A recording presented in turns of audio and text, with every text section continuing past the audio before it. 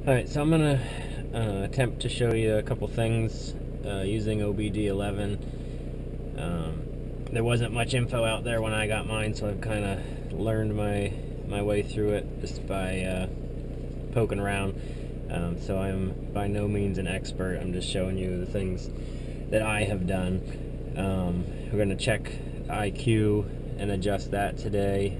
Uh, we can look at idle and uh, I did a five-speed swap on my car. So when I first got it, that's why I bought OBD11 was to recode it. So I'll show that too. Um, if you need to do that, that's the easiest one. So once you're connected um, and the car is warmed up, which mine is, um, you know, you have to hit the connect button, and then I go to the home screen, go to engine. Um, for the five-speed swap, that was the first thing I did that's pretty easy. It's under coding. So you just click on coding.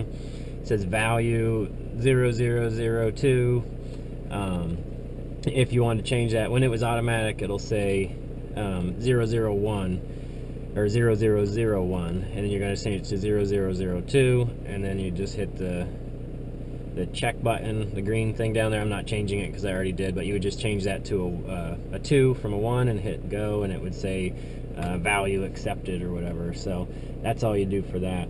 Um, one thing I haven't found to do is how to get back to the engine tab without going all the way back through to home, the options, engine, and there from, um, from there out.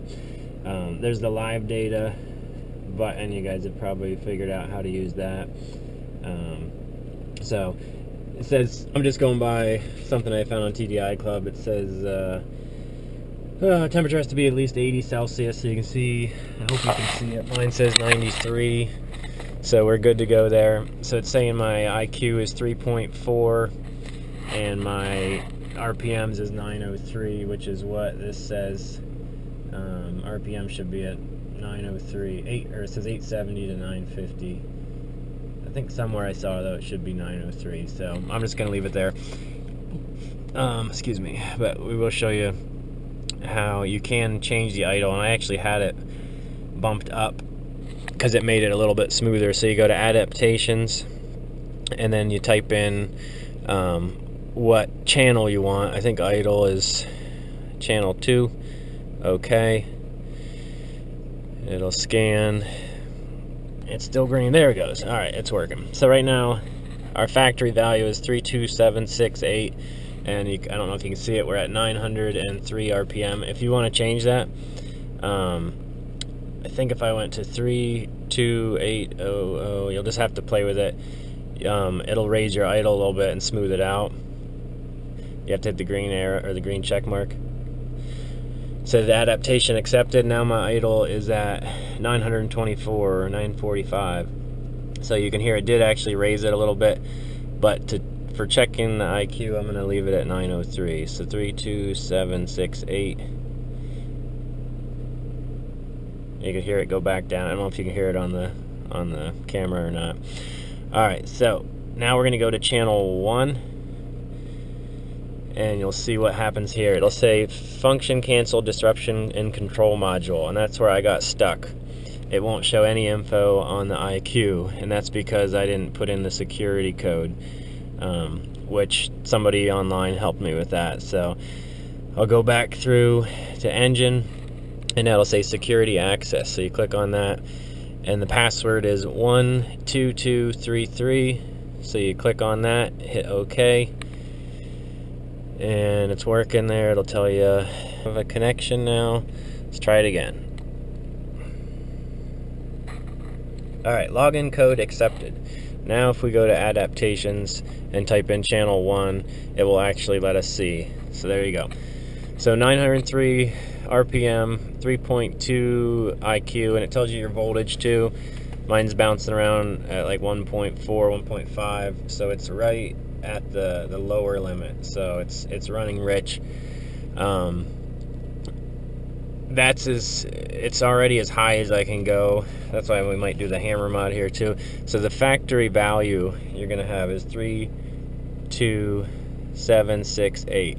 So and you'll hear a change when you enter this.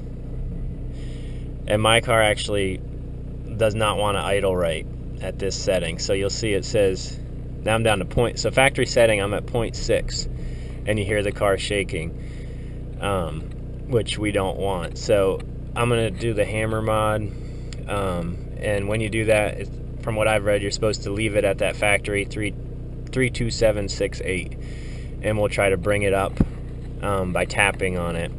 Um, like I said, I've never done this before, and I'm not a pro, so if I do it wrong, um, I'm sorry, but I'm gonna give it a try. Uh, so I have a brass hammer and a 30 Torx uh, driver. We're gonna loosen the bolts and uh, see if we can bring it up and then adjust it from here. So right now we're at the factory setting. So I, from what I've heard, that's best. I want to try to bring it up to like uh, maybe a four or five, and then we can adjust it from there. But you can hear my car starting to shake. It does not like having a 0.4, 0.6 um, IQ. So I'll be right back. Alright, so from what I gather, we loosen these three bolts.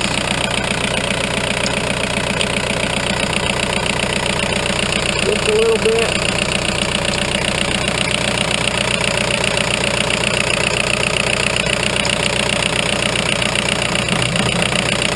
And I have a brass hammer, we're going to tap it that way.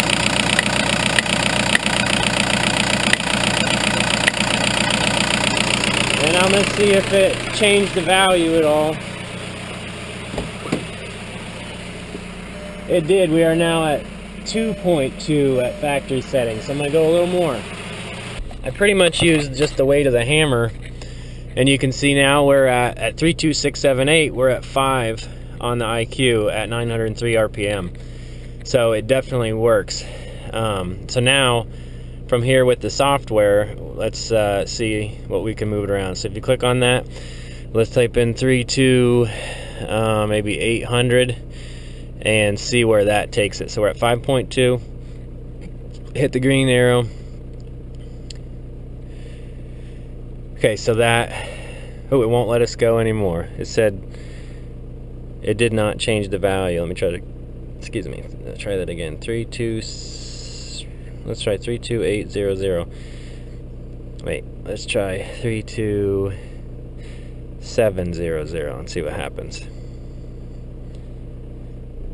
There, you could hear the engine change, and that took the IQ up to 6.8. So, it now we can fine tune it from here. I'm going to leave it at the factory setting though. 32768. Um, and hit the green check mark. There you can hear it change. So 32768 with the hammer mod, I'm at 5, about 5, 5.2 um, on the IQ at 903 RPM.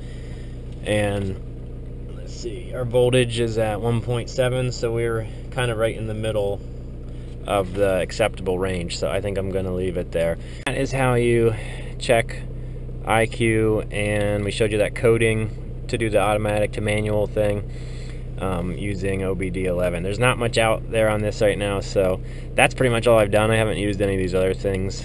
Um, but you can also look at the, the live data here. if you get on uh, TDI Club, there's a whole bunch of forums, threads on um, what the data blocks are and what, what you're looking at because on here it doesn't tell you anything. It just gives you um, the numbers and um, the channels and some values, so it's hard to know.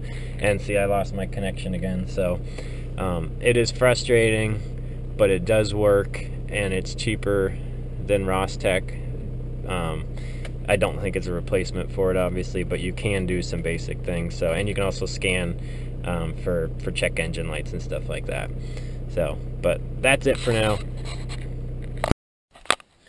All right, since I'm in a video making mood, um, we're gonna do a Flashzilla video. Um, uh, let's see.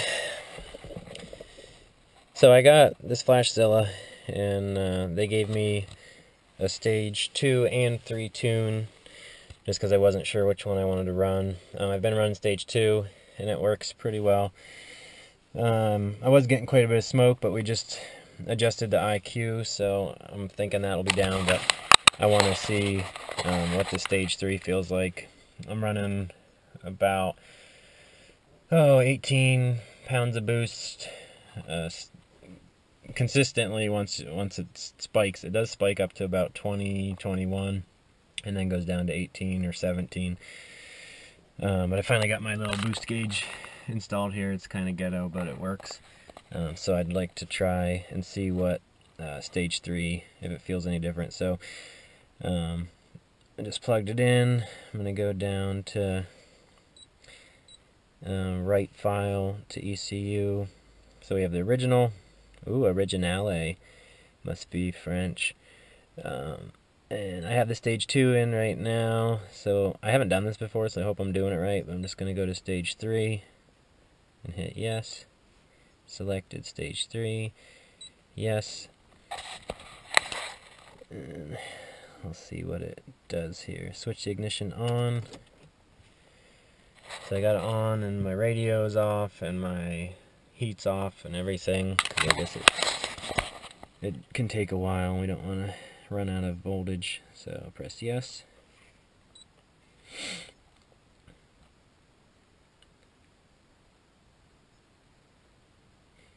Communicating, preparing the programming.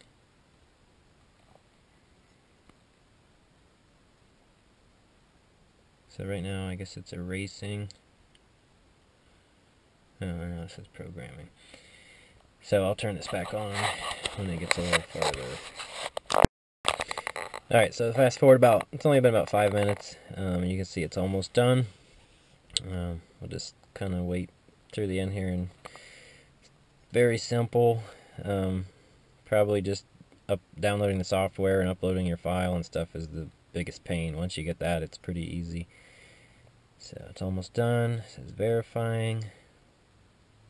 Ooh, it has a cute little sound.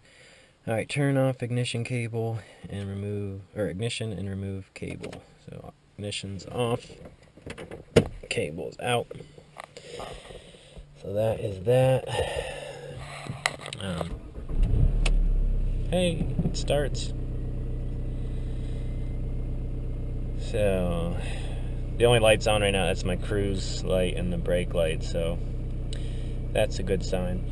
Um, one thing I did want to do was check uh, the IQ. I'm curious to see if it changes at all um, with the tune. So I'm going to plug in my OBD11 here. Uh, and just so you know, if you get OBD11 and you don't have an Android device, you can get a Kindle on Amazon for like 40, 39 or 40 bucks. And then uh, you have to download uh, the Google Apps Store or whatever to get the app.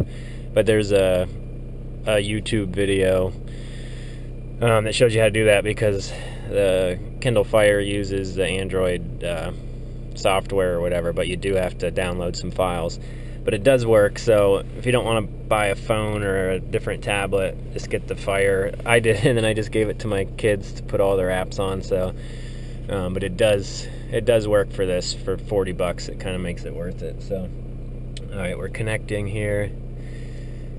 Um, all right, I'll pause this and then fast forward to the IQ, and we'll see what it's at. All right, so just uh, so you can see it again, to get to IQ, you hit the options, engines. Make sure your green light is on. Oh, it's blinking red. Alright, um, I'll go to adaptation, channel 1. Okay, hopefully it works. It says not available. We talked about that in the last video. You can go to live data, but I like to go to the adaptations menu because then you can change it if you need to. So you have to go to securities, 12233, okay.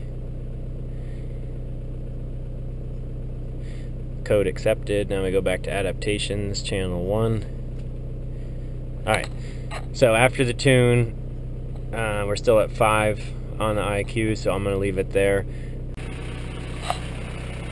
Alright, so we did the hammer mod.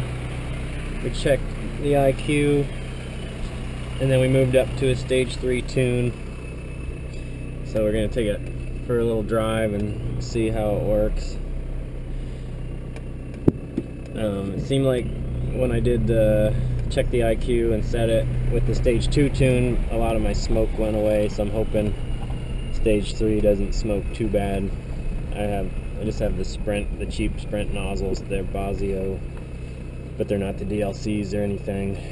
Um, so that definitely did add some smoke to it, but we'll see how it does here.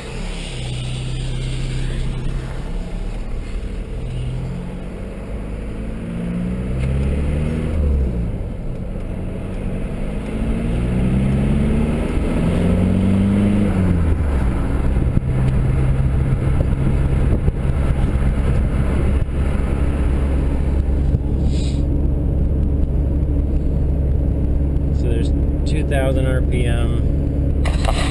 Here, sorry if it's shaky, it's on my head. 2,000 RPM in third gear.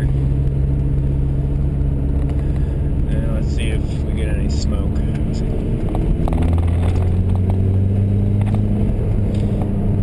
The pull's pretty good. Did you see though the boost spiked up to 25?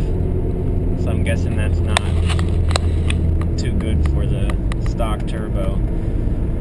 Um, it didn't smoke a whole lot. Maybe I'll do a backwards shot, but I don't like how that boost spikes so hard. So if I can roll into it easier, it doesn't go over 20, but decent hill up here. I'm gonna try and do more like a, a steady pull. Um, we'll go start at 2,000 RPM again in third gear it's not fast enough road to be in much of a higher gear. And we got a pretty good hill here. So, and you can see there is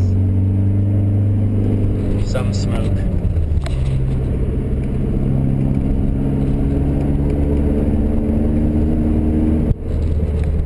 And that was holding about 18 pounds. So it seems like it just spikes up and then it does settle back out as long as I don't stuff it at lower RPM. The thing I don't like is that if you see my trip meter is at 333 miles and I'm at half a tank already. Um, I, I did nozzles, bigger tires, and the tune, so I don't know which one affected it the most, but and I've done a lot of idling and kind of fooling around driving, so I have to fill it up and drive it normal and see if that makes a difference. But I was hoping to not take too much of a hit on fuel economy. Usually I'm around uh, 450 at half a tank. Um, so not real thrilled about that. It is more fun to drive, but pretty big difference in fuel economy. But that could be the tires too. So.